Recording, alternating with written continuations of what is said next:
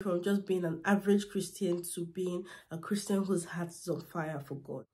Hello guys, welcome back to my channel. It's your girl WiniDoc back again with another video. Yay! If you're new here, my name is Winifred and I film about faith, medicine and lifestyle. If you're an OG, you already know you have my heart. Thank you for returning. Thank you for always watching my video. I love you guys. If you're new here, please do well to subscribe to my channel, like this video, like this video just support the ministry and leave a comment new subby new subby in the comment section down below so that i can holler at you. And without further ado i will be getting right into the video. So in today's video i'll be sharing five key ways to up your spiritual life in this new year. Everybody has new year resolutions and part of it i'm assuming if you're watching this video is spiritual growth. So these are the five key things that helps me up my spiritual life in 2022 and in the years to come but in 2022 i attained such great spiritual height i was so um pleased with myself. I was so proud of myself. And i'll be sharing these tips with you guys. Just stay tuned relax and enjoy. So the first one is being intentional with my word life. Now, what helped me is the Bible app. I know, like, I prefer hard copy. Me too. I know you're saying uh, I prefer hard copy, but I knew that um with this um bible app YouVersion oh my god that has been a lifesaver because it has a lot of bible plans and these bible plans make it very interesting to read the bible because then you now have like okay the book of job finishing the book of job in seven days or 14 days. It depends on how it is divided. Um there's one that i'm currently on where it's um reading the bible in 90 days. I'm quite excited. Oh my god we go through series of books of the Bible in one day. And it's just interesting. You'll be shocked. And thankfully, the YouVersion app actually has the audio part of the Bible. So I just always listen to it on the go. Say, I'm washing plates, I'm having my shower, dressing up to go out.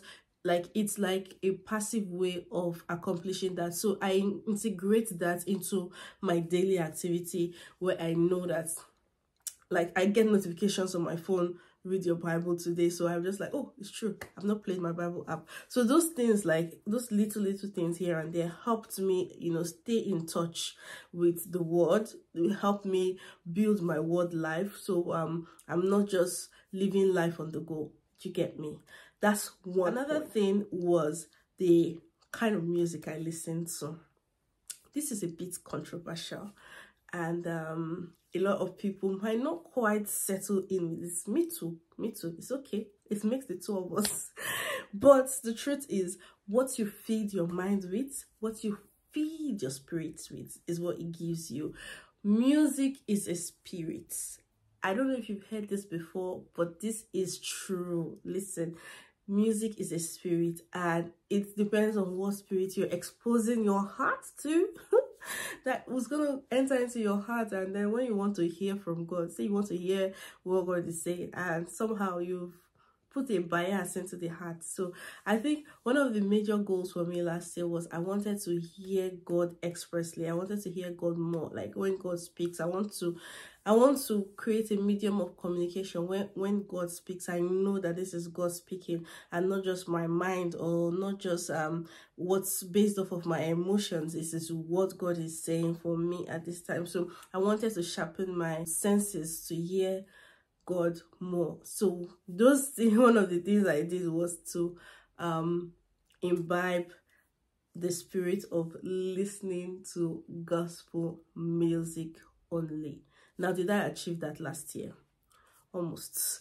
I'd say I did 90%. And I am, which is why I'm really glad and happy about my project. Because this, uh, my progress rather, because this particular point was especially in the social media age um it is hard to go through um the social media without listening to one or the other music that is not really um edifying so to speak. And some of them are so intoxicating some of them are just like like you're just catching cruise but you don't even know what you're saying like there's some I, I can't even open my mouth to utter but you'd be like okay god as christians are we actually opening our mouth to say this thing? But it's like i beg don't take life too serious. I beg it's just a joke. It's just for cruise. I'm more cruise and cruise to hellfire. God i beg so i'm like ah, please count me out too but sometimes it gets so enticing before you know it usually you're nodding your head and then next thing the thing is li living rent free your head. You're in the bathroom instead of you to be worshiping or using that time to study the word or pray you're not thinking of that song and the song is just dancing in your head. You don't even know when you're moving your body to the song and you're like hey god.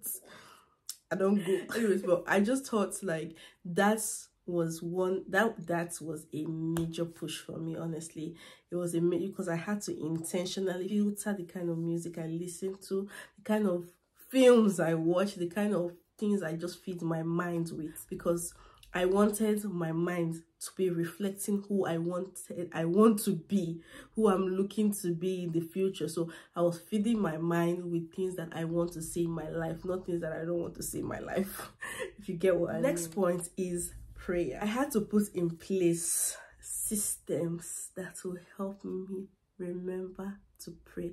Now, this in in if you're someone who is in the working class or if you're a student there's there's every excuse for you to say ah i'm tired oh i woke up yesterday uh, i just wake up in the morning next thing you enter the bathroom and you're out listen Prayer is communication with God, and however you do that communication is between you and God. Just make sure you put intentional markers of prayers like think the way you want to pray how you want to have what i'm working on this year is having a quiet time. I've never really had a quiet time routine. I just always have them periodically but i want to be more consistent with that book of Matthew, I've forgotten um which chapter exactly. Talking about how Jesus was teaching his disciples to pray and say, um, teach us how to pray. I mean, the disciples were already praying before them, right? But how come like they were not saying teach us how to pray? And Jesus was already there with them and was like, how do you pray? That means there's a wrong way to pray, right? And Jesus taught them the order of prayer. So I felt like I needed to know exactly how I'm praying applying the word in prayer for effective prayer that, that you can pray wrong prayers you can pray and miss so we don't want to be exacting prayer is work. Let me just point that out. Prayer is work. So you don't want to be exacting that kind of energy into prayer. And you're not getting results. The bible says hope deferred makes the heart weary. We don't want anything making us you know I, like I said, I was reading the word steady. So I fed myself with the word so that when I pray, I'm able to pray in line with the word. Now, structures I put in place for prayer were not so solid. I will want to do that better this year. But I had prayer points that I specifically told myself every single day, you must pray for this person, more like intercessory prayer. So I had that in, as a burden in my heart plus my own personal intentions and I will put them on sticker notes like these ones on my wall, on my wardrobe, my mirror, so that even when I'm dressing up, I remember, oh, I need to pray for this person. And then I just say a word of prayer before I go to bed. Sometimes I try to keep up with the midnight prayers and stuff. So I just set alarm throughout the day. If I go through my phone, I'll show you like places where I set alarm, wake up and pray. Winifred prays. It's 9.30, praise. Uh, it's time for praise. Just open your mouth. Or 12 minutes, begin to speak in tongues for 10 minutes. I just set all of those small, small things, nuggets here and there, just reminders so that every single thing around me is oozing what I am trying to achieve and I'm not distracted. The thing I'll say was fasting. Oh my God. Prayer and fasting goes hand in hand. But listen, the way I fasted in the year 2022, I have never fasted my life before. I started going to this church, Dominion City, um, when I came to London. And their January, I joined them late 2021. So entering into January, I don't know. I did not know that this is what they used to do. I don't know. That's what they do for you. Hey! Hey! oh, well, it was a 30 days fast. I say, yeah. 30 days. You know say one week you know say 12 days. Ah, ah, who used to do 30 days fast? What do you mean 30 days fast? It shocked me. But i realized that that really really transformed my life. Oh my god like i actually did a 30 days fast guys. From that day then the pastor encouraged us that through the year you shouldn't just stop at the one a month fast the devil that pursued you that he went on a break he will be right back. So if you think that ah in january i've already fasted fast for the whole year a dreamer. Anyway so i kind of imbibed the spirit of fasting and prayer. So throughout the year i just made this and fasting for no reason yes it's like no but it's never for no reason. Uh, they always get something where you want pray about. And normally on a normal day you would also want to you know just thank god praise god at least just for existence just for koinonia just for intimacy. Sometimes just pray and fast just starving the flesh to feed the spirits so that in the day of adversity the scripture says um if your strength fails you in the day of adversity it means your strength is small. So the way you build um faith you build your strength. You're building faith you're building strength. So that in the day of adversity for those times where you're too weary and too tired to pray those prayers have been spoken into the future and they're helping lifting you up. Fasting definitely helped and i would advise there are different type of fasting. You don't have to go through with um the dry fasting. You can do the six to six. You can do the six to three six to 12 total dry fast 24 hours fast 48 hour fast just drinking water. Some people do fruit fasting. There's called there's another one called the daniel fast. I've never tried that one. I'm looking forward to trying it though. And um the different type of fasting to to be honest. As the spirit leads you you can even do for example social media fasts you know dedicating this time to just focusing on reading the bible um, and not going on social media because you know social media takes your time. It all depends on you. You tailor it to yourself and to your um what's it called um situation and how it best suits you. Mentorship. Um mentorship really helped me this year or this past years um, I never that, that mentorship is one thing that God gave to me that I didn't know I need. It's like something when when you have something and then you didn't even know you needed that thing.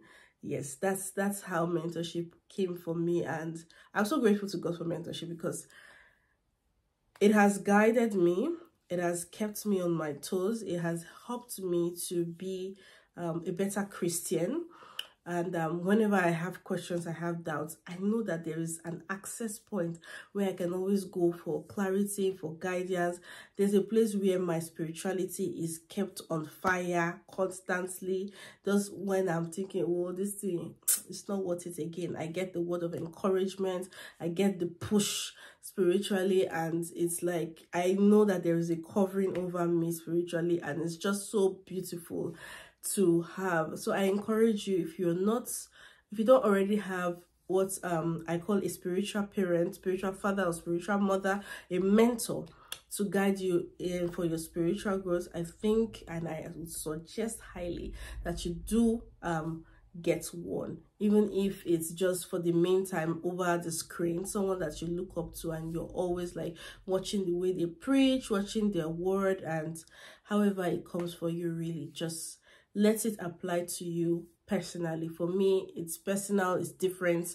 I don't have to say okay do it exactly how it was done. It's not a one size fits all. However i'd say mentorship is a great a great um key to spiritual growth. It's just beautiful to see see people that have the burden for christ burden for souls and it inspires you it keeps you going it takes you away from just being an average christian to being a christian whose heart is on fire for god. So um i'd encourage you look into um getting one if you don't someone who you look up to in the spiritual regards for guidance for help i'd also advise someone within your proximity. If possible someone whose phone or like contact is really easily accessible for you so that in case you have questions worries doubts or concerns you can always reach out to them and they will be there for you. Because this journey of christianity bruh ain't easy.